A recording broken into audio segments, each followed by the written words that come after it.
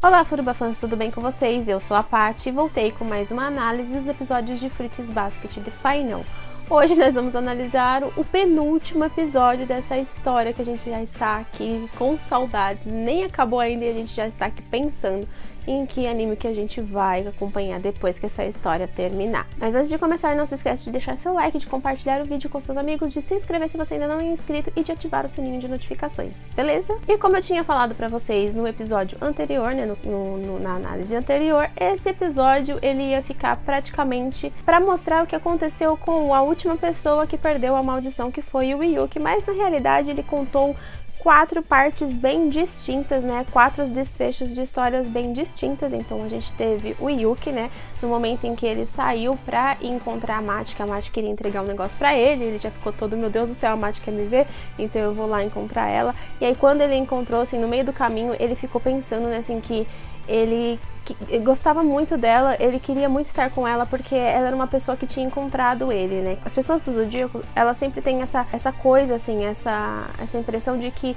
eles nunca vão ser encontrados por ninguém porque eles precisam sempre ficar se afastando das pessoas por causa da maldição. Então, ele sempre teve aquele receio de que ele iria passar assim pela escola, ele iria, ele iria ficar na escola, iria passar despercebido pela vida, assim, tipo, ninguém nunca ia dar importância para ele. E aí a Mate foi essa pessoa que encontrou ele e que começou a dar essa importância, que viu ele com outros olhos, não somente com os olhos de uma pessoa inalcançável, um príncipe da escola. Ela viu ele como pessoa e ele se identificou com ela por ela ter alguns problemas também que se assemelhavam muito aos problemas que ele passava também em casa. Então ele ficou assim, ele, teve uns. Ele, ele, se viu nela, ele se identificou muito com ela e isso acabou se tornando amor. E aí ele chegou lá, ela foi entregar o pacotinho, porque ela falou que queria dar um presente pra Toru, porque ela gostava muito da Toru, só que seria estranho ela ir lá e, e visitar a Toru, né? Que ela sabia que tinha acontecido o acidente e tal. E ela falou assim: Eu vou entregar, mas seria muito estranho se eu fosse visitar ela, então você pode entregar para mim, porque eu queria agradecer a ela por ela ter cuidado sempre de você, né? Por,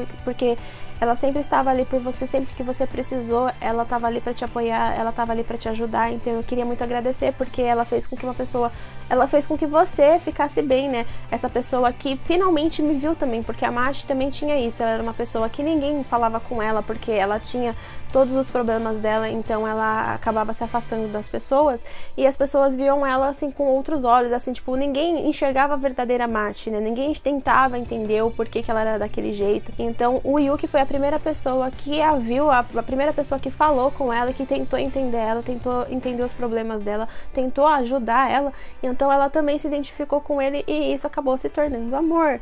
E aí ela se apaixonou pelo Yuki, o Yuki se apaixonou por ela e aí ele ele quando tava conversando com ela, ele sentiu uma coisa diferente, né, relacionada à maldição, e aí ele falou, não, eu preciso contar pra ela, né, da mesma forma que o irmão dele contou pra mim, eu, eu acho que ele pensou assim, eu acho que ela precisa saber disso também, desse segredo, né, só que no momento em que ele foi contar pra ela, ele sentiu alguém falando com ele, falando que ele era o último, né, e aí ele ficou com aquela sensação, né? E sem tentando entender o que tinha acontecido. Aí ele viu Deus e Deus falou para ele que ele era o último, que muito obrigado por ele ter mantido a promessa, né? A promessa original, que agora ele estava livre e que agora ele podia ser feliz e que ele é assim, muito, muito obrigado por estar sempre comigo, né? E aí o Yuki ele ficou com aquele sentimento, né? De tipo, a pessoa que sempre esteve comigo, aquela coisa que sempre esteve comigo, de repente foi embora e ele não sabia se ele ficava se feliz ou se ele, se ele chorava, porque foi um sentimento muito contraditório na mente dele, né? Porque assim, eu sempre estive com ela, com essa, com essa, com essa pessoa, com esse, com esse ser dentro de mim, né? E agora que ele foi embora, eu não sei se eu fico feliz ou se eu choro, porque ele tá se afastando de mim, né? Eu nunca mais vou vê-lo e ao mesmo tempo ele tá feliz porque ele finalmente se livrou dessa, desse peso, dessa maldição, dessa coisa, né? E aí a Mate pergunta: Você vai conseguir ver ele de novo? Aí, ela, aí ele fala: Não. É, não vou conseguir mais ver ele. Só que aí ele simplesmente abraça ela, assim. Ele falou assim: não era exatamente o que eu queria te falar, mas por enquanto pode ficar só nisso, né? Porque é, ele entendeu que ele tinha sido libertado e ele simplesmente. A maneira que ele achou para demonstrar para ela que tava tudo bem mesmo, quando ele tava se sentindo triste, quando ele tava chorando ali pela perda dessa, dessa, dessa pessoa, né? Desse, desse ser que estava junto com ele, ele pegou e abraçou para mostrar que tava tudo bem, que não tinha problema aquilo ter acontecido. Aí eles se abraçaram, aí todo mundo ficou olhando pra cara dos dois, né? E a Mate pegou e perguntou se ela podia chamar ele pelo nome, né? Ela queria te dizer uma coisa, posso te chamar pelo nome? E ele pode, por que não, né? E aí ela pegou e chamou ele pelo nome e ele foi lá e deu um beijo nela, finalmente. Os dois se beijaram, né? E a gente viu o final do feliz, né, do Yuki, vamos dizer assim, né? A gente teve esse fechamento, né? Porque eu falei para vocês que ele tava junto com a Mati quando a maldição acabou, né? E ele ia começar a chorar na frente dela, tal e tal coisa. Mas aí agora a gente vai para a parte da família Soma, né? Depois desse encontro com a Mati, Yuki e os demais vão para casa da, da família Soma, né? Vão lá para mansão do Akito, da Akito, porque ela convocou todo mundo, né, para mansão, né? Então chamou todas as meninas, todos os meninos, tava todo mundo lá, todo mundo, o, o Yuki falando que ele estava se sentindo meio apreensivo porque ele não sabia como que as pessoas, né, como que eles iam interagir agora que eles não tinham mais a maldição, porque tecnicamente eles estavam ligados por esse laço, então ele não sabia como que as pessoas iam reagir se, esse, se a amizade entre eles ia permanecer, mesmo depois que esses laços foram quebrados. Só que tudo começou assim, tipo, tudo continuou da mesma forma, né? Kagura e, e, e Momiji brincando com o Kyo, né? A Kagura foi lá, deu um abraço no Kyo, né? E o Momiji tirou uma foto falando que ele tava traindo a Toru, né? Só pra zoar com a cara dele. O Haru falou que ia sempre amar o Yuki, que ele não precisava se preocupar, né? Que ele tava sempre, tinha sempre, teria sempre um lugarzinho no coração dele, deixando a Rin totalmente com ciúme lá. Né? Ele, nossa, a Rin tá com sangue no zóio, né? Ela tá com ciúme, né? Ele, não, não, mas eu também te amo, Rin, não tem problema tal. E o Ayami também falando que ele também ia estar sempre ali pelo irmãozinho dele dele, que ele ia sempre proteger o irmão dele, que eles podiam sair pelas casas da luz vermelha lá juntos, que os dois iam estar sempre unidos tal. E aí a moça pega e interrompe, né, a, a brincadeira deles, falando que a Kito estava ali, né, que ela ia entrar na sala, né, que era para eles, né, pararem com a conversa e tal.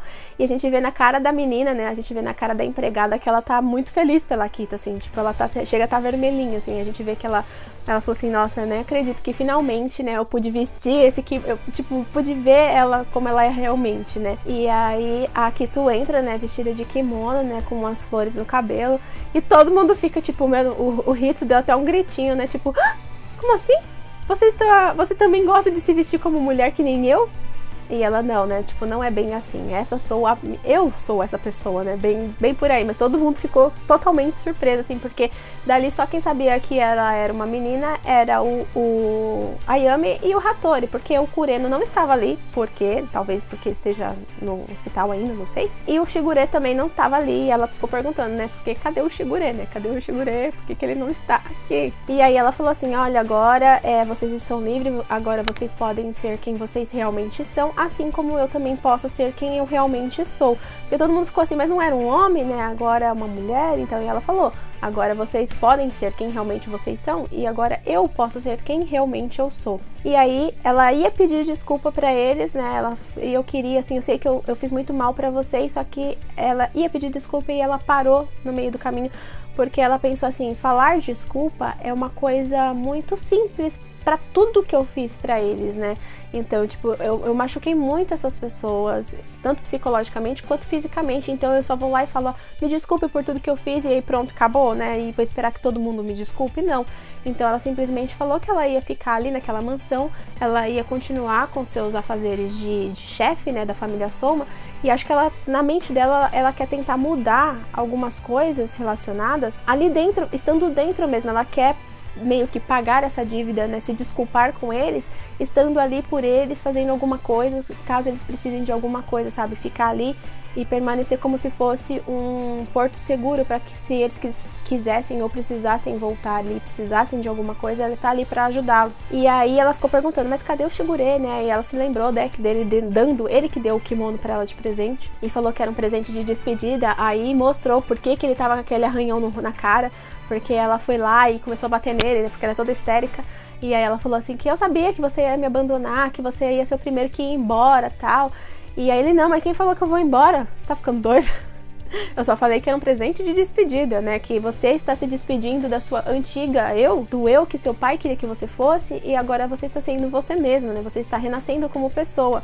Então era um presente de despedida. E aí ela meio ficou meio sem entender, mas tipo, não, mas é que, né? Aí ele falou assim: não, eu sempre gostei de você, eu sempre quis ficar com você, eu fiquei esperando você, só que toda vez que eu achava que você estava próximo de mim, você ficava com outros homens. Ela, mas você também ficava com outras mulheres? Ele, então, né? Eu sou uma pessoa que não gosto de perder, então eu dou o troco na mesma moeda. Então, aí ele pega e vai para cima dela. Ele vai, tipo, pôr a mão no rosto dela assim e ela fica meio que assustada. Ele, ah, já entendi, né? Qual que é o seu problema. E ela, ela não sabe meio que como que reagir, porque ela falou assim: Eu sempre tive me muito medo de você, você sempre ficou muito distante, eu sempre tive medo de me aproximar, porque você nunca, assim, parecia que você estava perto, mas você sempre estava longe, eu não sabia o que você estava pensando. E aí ele falou assim que ele fazia isso justamente pelo fato dela, dela ter todos esses problemas e ela ficava com os meninos e ele queria ela só pra ele. E ele falou assim, então eu, eu fingia não me importar, porque se eu me importasse, se eu, se eu realmente parasse e ficasse pensando no que estava acontecendo, ele ia ficar doido, né? Porque ele falou assim, eu queria você só pra mim, não queria, eu não queria dividir você com mais ninguém. E como que tinha todo aquele problema, tinha toda aquela coisa dela ser a chefe da família e ter o negócio da maldição, ele ficava meio que se afastando, ele ficava meio que na dele. E aí ele falou assim: agora, se você quiser ficar comigo, você sabe, né? Se você vier atrás de mim, você sabe o que você vai encontrar. E aí ela pega, né? Tem a conversa com os meninos na sala e ela vai atrás dele, ele tá na varanda do quarto dela, né? Aí ela fala para ele que eles se assustaram, né? Ficaram muito espantados, que ela era uma menina, né? E que ela tentou se desculpar, mas ela não conseguiu porque ela acha que ela precisa fazer mais do que simplesmente jogar palavras de desculpas assim para ele. Ela precisa mostrar que ela está realmente arrependida e fazer alguma coisa para merecer ser perdoada. Aí ela quando, enquanto ela tá chegando, ela fala que a gente vê que ela gosta muito do Shigurei, que ela é muito possessiva, porque ela fala que ela quer entrar dentro das células dele, que ela quer espalhar o cheiro dela pelo, por ele todinho, para ele nunca se esquecer do cheiro dela, para ele nunca se esquecer dela, que ela quer possuir ele completamente. E aí ela fala: será que é o meu lado feminino que está falando isso, né? Eu sei que no final eles pegam, ele fala que ele tava esperando muito que ela viesse até ele, que ele esperou por muito tempo para que ela fosse só dele e que ela tava muito linda de kimono. Aí eles pegaram e se beijaram e aí a gente tem a cena cortando agora para um diálogo entre Toru e Kyo, que o Kyo ele fala que agora que ele tá livre, ele quer experimentar o mundo, né? Porque ele sempre ficou naquela coisa, ele não sabia se ele ia conseguir é, nem terminar a escola, então agora que ele estava livre da maldição, ele queria viajar, ele queria conhecer outras pessoas, outros lugares, ele queria viver em outros lugares de forma diferente, né? E ele pediu para que a Toru fosse com ele, que ele tinha até um lugar para onde que ele queria ir, que era um dojo lá do amigo do mestre dele, que ia, ele ia lá, ele ia trabalhar, ele ia se esforçar, né? ele ia treinar, porque futuramente ele viria a herdar o dojo do, do mestre, então ele queria ter várias experiências, conhecer várias pessoas, trein fazer o treinamento, trabalhar para poder ser digno, né, se sentir digno de ser o herdeiro do mestre, né? E ele pede pra Toru ir com ele. E aí a Toru fala: beleza, eu vou com você. E ele, mais tipo, simples assim? Não, você não tá entendendo. É, é muito longe, eu vou tirar você de perto das pessoas que você gosta.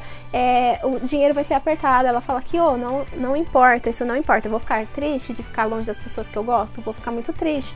Mas eu vou ficar muito mais triste se eu ficar longe de você. Eu sou uma pessoa muito teimosa e eu não vou abrir mão fácil de você assim. E ela fala que ela vai com ele, que não tem problema. E aí ela fala assim que ela tem certeza absoluta que mesmo que a mãe dele tenha falado que não perdoava ele, ela falou assim, foi em algum outro contexto, ela jamais falaria isso com essa, com essa, assim, ela jamais é, falaria que não te perdoa por alguma coisa que você, que, é assim, que, alguma coisa que não é sua culpa. E ela falou assim, eu tenho certeza que ela quis dizer alguma outra coisa, ela não é uma pessoa assim, ela não é essa pessoa, eu tenho certeza que teve algum outro motivo, alguma outra coisa, ela tava tentando falar alguma outra coisa. E ela falou assim, eu vou com ele, assim, tipo, eu vou é, ser feliz feliz, né? Eu vou contra essa, essa frase da minha mãe e eu vou junto com você tal. E aí ele pega e fala assim, né? Ele mesmo fala para ela, né, que demorou muito, né? Ele falou assim: "Olha, eu sei que eu demorei muito, mas eu vou cumprir a nossa promessa de, né, que a, promessa era dele encontrar a Toru e proteger ela, né? Então ele falou assim: "Eu vou proteger ela com a minha vida, né? Eu vou proteger ela para sempre, vou ficar para sempre com ela e vou protegê-la com a minha vida. Eu sei que demorou muito, mas finalmente eu estou cumprindo a minha promessa agora com você.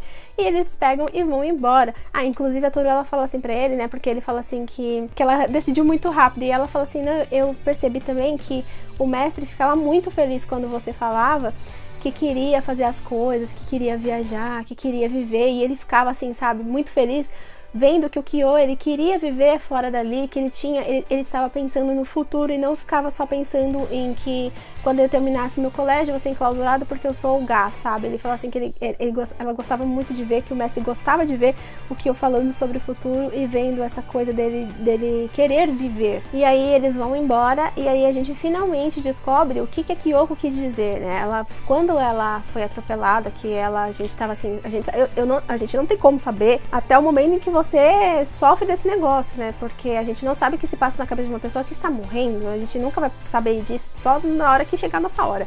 Mas aí ela simplesmente ela falou assim: "Não, meu Deus do céu, como é que eu vou deixar a Toru sozinha?". Ela percebeu que tava alguma coisa, ela não conseguia se mexer, alguma coisa estava errada. E ela falou assim: "Não, é, ela sentiu que ela ia embora". E aí ela falou assim: "Eu não posso deixar a Toru sozinha, ela acabou de entrar no colegial. Meu Deus do céu, o que que essa menina vai fazer sem eu? Como que ela vai viver sozinha, né? Eu não posso abandonar, eu não posso, eu não posso fazer isso com ela". E aí ela falou, né, Katsuya, agora eu, agora eu sei o que você estava sentindo, né? É tão doloroso para a pessoa que vai quanto para a pessoa que fica, né? Ela quis dizer assim, tipo, ela deve ter conseguido imaginar o que ele sentiu quando ele estava indo embora, né? Porque a gente sabe que o pai da Toru morreu antes. Então, é doloroso para quem fica, mas a gente também não sabe o que, é que a pessoa tá sentindo quando ela vai embora e ela tão abruptamente, né? Como foi o caso da Kyoko, que ela simplesmente ela vivia só ela e a filha, e a filha ainda era menor de idade, e tava assim, tipo, ela tava criando a menina ainda, e aí ela vai embora assim, de repente, e ela fica pensando, né, eu não posso fazer isso com ela, como que eu vou deixar? Pelo amor de Deus, alguém tem que proteger a minha menina, alguém tem que proteger o meu tesouro, alguém tem que fazer alguma coisa, e ela pegou e viu o Kyo, ela reconheceu ele, e ela falou assim, você, eu sei, talvez você não me reconheça, se você não me reconhecer, mesmo se você não me reconhecer, eu peço para você que você encontre a Toru, que você proteja ela, mesmo que você não se lembre de mim, você tem que se lembrar da nossa promessa. E se você não cumprir com a sua promessa, eu não vou te perdoar. Foi isso que ela quis dizer, né? Tipo, se você não cumprir com a sua promessa de encontrar a Toru e proteger a Toru, ela não ia perdoar o Kyo. E ela falou assim: é, eu queria ter amado a Toru mais, eu queria ter falado mais que amo ela, eu queria fazer mais, alguma, mais coisas por ela, mas eu espero que ela, do fundo do meu coração, que ela seja muito feliz, que ela encontre pessoas que façam ela feliz, que ela encontre amigos que sejam bons para ela. E aí ela acabou falecendo ali no lugar mesmo, né? Tipo, ela faleceu na rua mesmo. A moça tava até chamando a ambulância, pedindo para ela ficar com ela, para ela não desistir, para ela ficar acordada. Aí ela percebeu que ela já não estava mais nesse mundo, aí ela ficou toda assustada. E aí a gente vê que a Kyoko acorda na praia, né? E aí a gente vê o Katsuya indo buscar ela lá na praia. E ele fala que tá muito orgulhoso dela. E aí, o episódio terminando, a gente agora só tem o, o último episódio para contar o desfecho, né? Dessa, dessa, dessa história toda, né? O que, que vai acontecer a partir de agora que todos perderam a maldição que todos estão vivendo as suas vidas, né? Cada um com seu parzinho lá, né? O Yuki com a Mati, Kyo com o Toru, Kakura com não sei quem ainda não descobri. A Rin com o Hatsuharu, a gente tem a Kito com o Shigure, a gente vai ver como que tudo isso vai se desenrolar e como que vai finalizar. Eu não vou mentir para vocês que eu lembro do final. Do final eu lembro, então eu vou parar por aqui antes que eu dê algum spoiler. Mas assim, é um final bem bonito, um final bem legal. A gente não vai esquecer. Agora, para vocês que estavam se perguntando o que, que eu vou ver agora que Fruits Basket está acabando, não se esqueçam que a gente faz diversos vídeos de diversos animes. Então vocês podem olhar todos os nossos vídeos de indicações. Inclusive, a gente vai fazer indicações também dessa temporada e da temporada passada que a gente tá devendo até hoje. A gente sempre indica animes que a gente assiste, que a gente gosta, que a gente acha que vocês vão gostar. Então dá uma olhadinha nos nossos vídeos também, para você, quem sabe você não descobre uma pérola e acaba se interessando e acaba assistindo algum anime muito legal, tanto quanto é, Fruits Basket foi, não na mesma, no mesmo gênero, porque é muito difícil encontrar uma história tão assim igual Fruits Basket. Fruits Basket é único, mas eu, eu espero que vocês acabem encontrando alguma coisa que vocês gostem tanto quanto. Mas é isso, gente. Eu espero que vocês tenham gostado da análise. Se gostou, deixe aí um comentário. Não se esqueça que semana que vem é o último episódio e talvez, eu disse, talvez na segunda-feira a gente vai fazer uma live assistindo o último episódio. Então, se isso acontecer, eu aviso vocês em todas as redes sociais e vocês vão lá pra Twitch assistir com a gente. Então já deixa seu like, compartilhe o vídeo com seus amigos, Segue a gente lá na Twitch para não perder as nossas lives. Ativa o sininho de notificações. Também segue a gente na aba de comunidade nas redes sociais, que é onde a gente posta todos os links e tudo mais, todas as notificações. Não se esqueça também que você pode virar um membro do canal clicando no botãozinho aí embaixo, no link na descrição, e você vê as recompensas e nos ajuda se puder. E é isso. Eu vejo vocês no próximo vídeo. Beijos e tchau, tchau.